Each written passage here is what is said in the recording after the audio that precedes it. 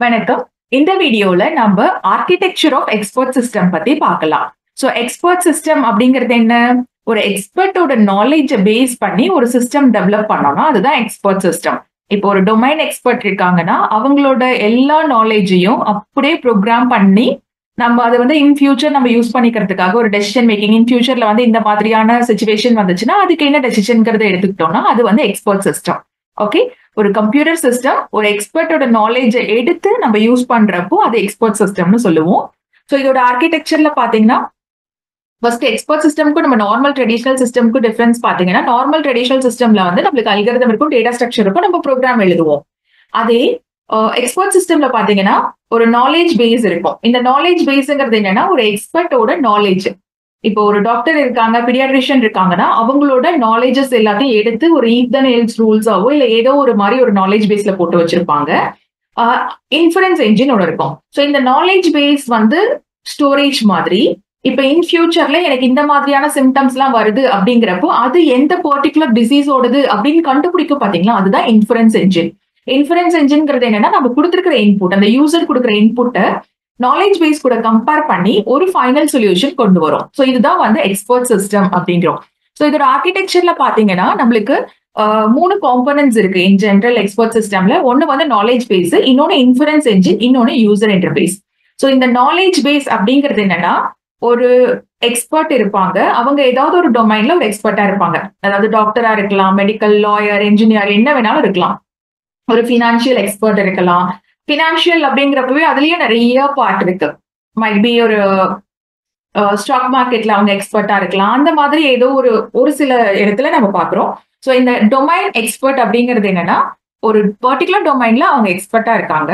So அவங்களோட எக்ஸ்பர்டைசேஷனை நம்ம எடுக்கிறோம். அவங்களோட நாலேஜை நம்ம எடுக்கிறோம். எப்படி எடுக்கிறோம்னா ஒரு நாலேஜ் இன்ஜினியர் இருப்பாரு. இந்த நாலேஜ் இன்ஜினியர் அந்த டொமைன் எக்ஸ்பர்ட் கூட உட்காந்து அவங்களுக்கு தேவையான கொஷனரிஸோ இல்ல ஏதோ ஒரு விதத்துல நம்மளுக்கு அவங்களோட எடுத்து இங்க நாலேஜ் பேஸ் கிரியேட் பண்ணுவாரு.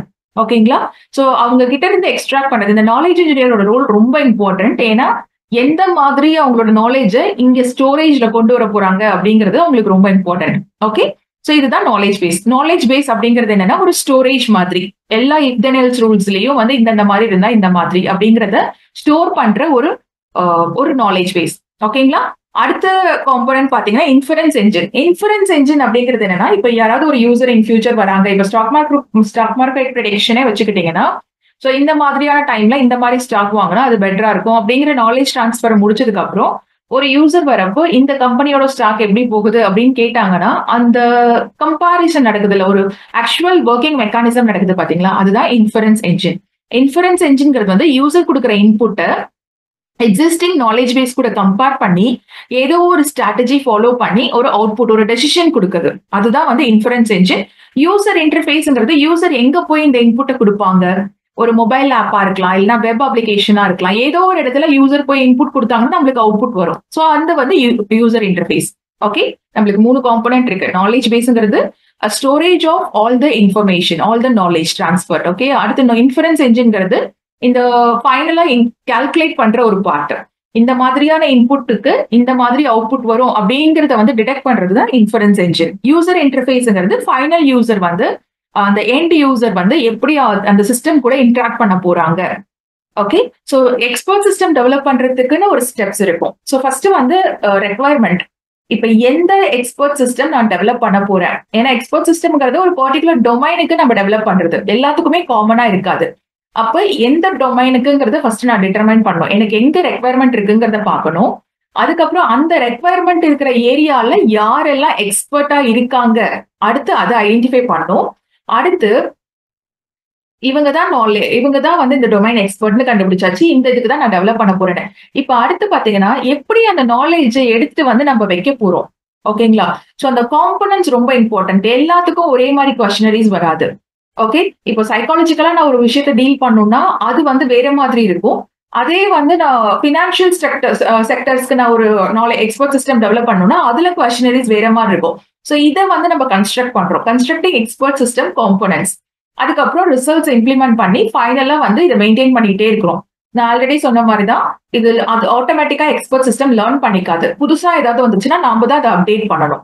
ஓகே ஸோ ஃபர்ஸ்ட் இந்த மூணு காம்பனண்ட்டை பத்தி தெளிவா பார்த்துடலாம். நாலேஜ் பேஸ்னா என்ன? இன்ஃபரன்ஸ் என்ஜின்னா என்ன?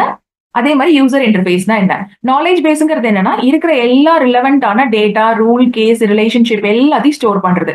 எப்படி ஸ்டோர் பண்ணும்? Rules and regulation if then else ஸ்டேட்மெண்ட்டா இல்ல ஃபசிலாஜிக்கா எப்படியோ ஒன்று அது அது வந்து ஸ்டோர் பண்ணிடும்.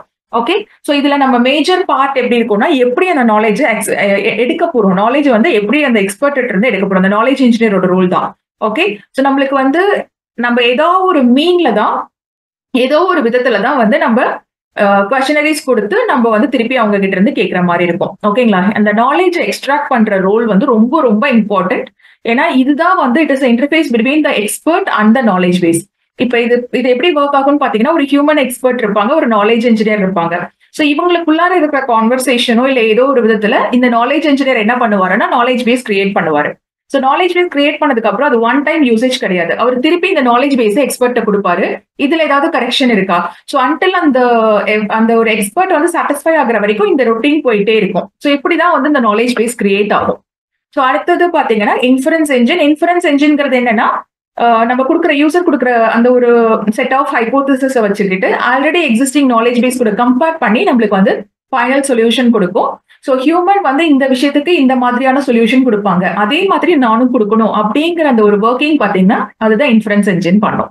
ஓகே ஸோ இதுல பாத்தீங்கன்னா நம்மளுக்கு ரெண்டு டைப் ஆஃப் இன்டகிரேஷன்ஸ் இருக்கு. ஒன்று வந்து பேக்வர்ட் ஷைனிங் இன்னொன்று ஃபார்வர்ட் ஷைனிங் எந்த மாதிரி நம்ம வந்து எடுக்க போறோம்? அதாவது பேக்வர்ட் செயினிங்னா இதுதான் என்னோட ஃபைனல் கன்க்ளூஷன் ஃபைனல் கன்க்ளூஷன்ல இருந்து நம்ம மேல பில் பண்றது. இல்லைன்னா கொடுத்துருக்கிற ஹைபோதசிஸ் எல்லாம் கம்பைன் பண்ணி நம்ம ஒரு கன்க்ளூஷன் கொண்டு வருது இந்த இன்ஃபரன்ஸ் என்ஜினோட இன்னொரு ஸ்பெசிஃபிக்கான ரொம்ப முக்கியமான பார்ட் பாத்தீங்கன்னா அது கூட வந்து எக்ஸ்பிளனேஷன் ஃபெசிலிட்டி இருக்கணும்.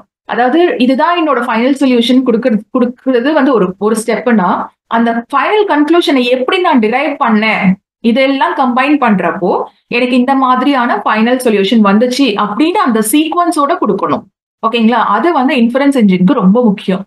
ரதர் தென் ஃபைனல் டெசிஷன் மட்டும் கொடுக்காம இதனால தான் இந்த டெசிஷனுக்கு வந்தது அப்படிங்கிற ஒரு எக்ஸ்பிளனேஷன் ஃபெசிலிட்டியோட இன்ஃபுரன்ஸ் என்ஜின் நம்ம டெவலப் பண்ணணும் அந்த கடைசியா பாத்தீங்கன்னா யூசர் இன்டர்ஃபேஸ் யூசர் இன்டர்ஃபேஸ் அப்படிங்கிறது என்னன்னா ஆஹ் எந்த ஒரு யூசர் அந்த சிஸ்டம் யூஸ் பண்ணாலும் அவங்களுக்கு அது ஃபிளெக்சிபிளா இருக்கணும். அவங்க வந்து அதுக்கு ஒரு நல்ல uh, யூசர் இன்டர்ஃபேஸ் போடணும். ஜி கிராஃபிக்கல் யூசர் இன்டர்ஃபேஸ் போட்டுட்டு மொபைல் ஆப் ஆப்பா கொடுக்கலாம் இல்லைன்னா வெப் ஆப்பா கொடுக்கலாம். ஏதோ ஒன்று it is easy for a user to enter ரொம்ப காம்ப்ளிகேட்டடா இல்லாம ஒரு லைட் வைட் மாடலா நம்ம வந்து டெவலப் பண்ணி கொடுக்கணும். ஸோ இந்த மூணு காம்பனெண்ட் தான் ஒரு expert சிஸ்டம்க்கு important knowledge base inference engine user interface okay so already இருக்கிற எக்ஸ்பர்ட் சிஸ்டம்ஸ் பார்த்தீங்கன்னா ஃபர்ஸ்ட் டென்ட்ரல் டென்ட்ரல்ங்கிறது எதுக்கு யூஸ் ஆயிருக்கு? கெமிக்கல் சப்ஸ்டன்டோட மாலிகல் மாலிகுலர் ஸ்ட்ரக்சர் ஐடென்டிஃபை பண்றதுக்காக யூஸ் பண்ணிருக்காங்க. இந்த மாஸ் ஸ்பெக்ட்ரோமெட்ரி டேட்டாவை கொடுக்குறப்ப இந்த கெமிக்கலுக்கு இந்த மாதிரியான மாலிகுலர் ஸ்ட்ரக்சர் தான் இருக்கும் அப்படிங்கறத ஐடென்டிஃபை பண்றதுக்கு டென்ட்ரல் யூஸ் ஆச்சு. அதுதான் first export system develop okay அடுத்து வந்து நிறைய இருக்கு. மைசின் மைசின்ங்கிறது மெடிக்கல் டயக்னோசிஸ் ஃபார் இல்னஸ் டிக்மீட்டர்ங்கிறது வந்து ஜியாலஜிக்கல் டேட்டா கொடுக்குறப்போ ஆயில் கன்சிஸ்டன்சி பார்க்கறதுக்காக ப்ராஸ்பெக்டர்ங்கிறப்போ அதே geological data analysis for mineral ஸ்ட்ரக்சருக்காக அதுக்கப்புறம் uh, எக்ஸ்கான் ஆர் ஒன்ங்கிறது வந்து uh, கம்ப்யூட்டர் சிஸ்டம் எப்படி கான்ஃபிகர் பண்றது அப்படிங்கிறதுக்கான டெவலப் பண்ண எக்ஸ்பர்ட் சிஸ்டம் ஓகே ஸோ இதுதான் வந்து architecture of expert system thank you